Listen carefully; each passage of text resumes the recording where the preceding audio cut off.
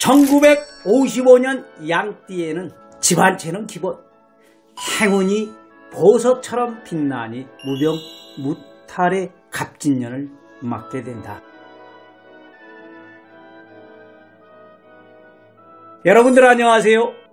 경기도 성남 분당 보은 철학원장 역술가 보은입니다. 오늘은 2024년인 갑진년에 1955년 을미생 양띠의 운세로 꼭 잡아야 할 좋은 운과 꼭 피해야 할 애군들을 각 달별로 꼭꼭 찝어서 알려드리도록 하겠습니다. 궁금하신 분들은 채널 고정해 주시고 끝까지 시청해 주시길 바랍니다. 지난 영상에서 양띠는 2024년에 자신을 뽐내기 좋다고 말씀을 드렸는데요. 그 중에서도 특히 1955년 을미생 양띠가 재물운을 높이려면 검은머리 짐승을 조심하여야 한다고 했습니다. 갑진년에는 갑목과 을목의 기운이 서로 만나는 해입니다. 큰 나무와 작은 나무가 자연스럽게 숲을 이루는 형국으로 대체로 무난한 해라고 볼 수 있는데요. 특별히 변화를 깨차는 것보다는 지금의 현재 상태에서 만족을 찾아가는 것이 좋다고 봅니다. 상승세가 아니라고 너무 실망하실 필요는 없습니다. 작년보다는 재물운도 좋고 가족운도 좋고 행운도 따르며 무병무탈한 한 해가 되거든요. 특히 을이 갑을 만나니 겁재가 되는데요. 한마디로 2024년에는 내 터전을 만난다라고 보시면 되겠습니다. 내 기반을 닦을 수 있는 환경을 만나게 된다는 것이지요. 앞으로 어떻게 돈을 벌어야 할지, 어떻게 살아야 할지 결정하기 좋은 시기입니다. 다만 특이한 운세가 몇 가지 있는데요. 나쁜 것은 배신수, 손해수, 좋은 것은 문서운입니다. 이 운세가 몇 월에 들어오는지 잠시 후에 말씀드리고요. 영상 이어가기 전에 좋아요 한번 미리 눌러주시고 복 많이 받으시길 바랍니다. 장사가 잘 되지 않아 고민하신 분, 노는 게 지겨워서 소일거리를 찾는 분, 공기 꽉 찬 자식 때문에 머리가 지끈지끈 아픈 분, 지금부터 2024년에 상반기, 중반기, 하반기에 각 월별 운세를 구체적으로 살펴보도록 하겠습니다. 재물운을 말씀드릴 것 같으면요. 정제운은 확실히 들어와 있습니다. 정제란 월급이나 연금처럼 매달 다달이 또박또박 들어오는 고정 수입을 말하는데요. 매달 들어오는 수입이 있을 테니 생일은 걱정하지 않으셔도 됩니다. 운용만 잘 하시면 재물운도 안정적이라고 봅니다.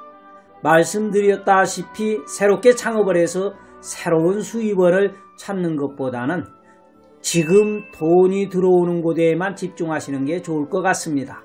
다만 한 가지 방해물이 있는데요. 내 실수가 아닌 타인의 잘못 때문에 내가 손해를 보는 일이 생길 수 있습니다. 예를 들면 내 가게에서 직원이 실수해서 돈을 좀 날린다라든가 형제 자매의 사업이 꼬여서 내가 메운다라든가 그런 일이 발생할 수 있는데요. 다행히 2024년에는 을미생의 능력이 우수하니까요. 오히려 이 길을 넘기며 주변 사람에게 인정을 받고 주목을 받는 기회가 될 수 있습니다. 또한 가정에서는 한 번의 이기가 찾아올 수 있습니다. 윗사람과 아랫사람 모두에게 근심이 생기는데요. 집에 있으면 심란하다고 밖으로 도망치시면 도리어 해가 되니 정면 돌파하시는 편이 더 좋습니다. 서로 배려심을 발휘하고 양보한다 하면 어려움은 금방 사라질 것입니다. 그리고 또 하나 2024년에는 검은 머리를 조심하셔야 합니다. 하반기에는 가까운 사람에게 배신을 당할 수 있는데요. 아무리 친한 사이라도 조심하시고 특히 친구든 친척이든 통업하시는 건 영 좋지 않습니다. 되도록 삼가십시오. 정리하자면 갑진년은 인간을 조심하라.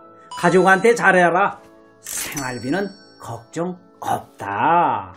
라는 겁니다. 그렇다면 수입은 넉넉할지 배신자는 언제 나타날지도 궁금하지요. 1월은 다 갔으니까 2월부터 찬찬히 살펴보겠습니다. 2월과 3월 사이에는 비겁을 만나 뭔가 새롭게 하겠다는 의지도 강해지고 그간 해온 일에도 탄력을 받습니다. 그러나 무리하면 손재수가 따를 수 있습니다. 전체적으로 보면 24년은 작년보다 금전적인 문제가 많이 해결되실 겁니다. 수입이 늘어나서 숨통이 조금은 트이실 텐데요. 하지만 그만큼 금전이 빠져나가기도 합니다. 돈이 나갈 일이 많다는 뜻이지요. 말씀드렸다시피 내가 아닌 남의 잘못 때문에 돈을 써야 할 수도 있고요. 하지만 돈 관리에 철저히 신경을 쓰신다면 작년보다는 많이 넉넉해질 겁니다. 또한 가족운을 잠시 보면은요. 남성의 경우에는 체면을 차리느라 가족과 대면대면한 분들이 많으실 텐데요. 특히 자식과의 관계로 고민이 깊어질 수 있습니다. 지금이라도 감정을 터놓고 화합을 하는데 주력하셔야 하는데요. 그래야 길한 운에 불씨를 입히고 발복할 수 있을 겁니다. 5월에서 7월 이 중반기는 재물운이 왕성합니다. 이 5월 7월 사이에는 식상운을 만나게 되는데요. 먹고 사는 문제에는 걱정하실 필요가 없고요. 만약 창업이나 새로운 사업을 계획하고 있다면요.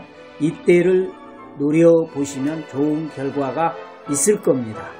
8월에서 10월까지는 관성을 만나게 되는데요. 일에 집중하기 좋은 시기라고 봅니다. 사업을 하고 계신다면 일감이 늘어갈 거고요. 주부님들도 소일거리를 찾으신다면 수월하게 구할 수 있을 겁니다. 그만큼 수입도 따라올 거고요. 11월에서 12월은 인성운이 들어옵니다. 인성이란 나를 살게 해주는 오행인데요. 한마디로 수행 혹은 공부하기에 좋은 시기라고 봅니다. 자격증을 취득하거나 기술을 배우신다면 이때가 가장 좋은데요. 한편으로는 인성운이 들어오면 이 도장을 꽉 찍는 그러한 힘이 생깁니다. 도장을 찍을 일이 뭐가 있겠습니까? 문서가 오고 갈 때 또 부동산을 매매할 때 결정할 권한을 내가 갖고 성사될 일이 있다는 것인데요. 다소 생각이 많아져서 답답할 수는 있겠습니다.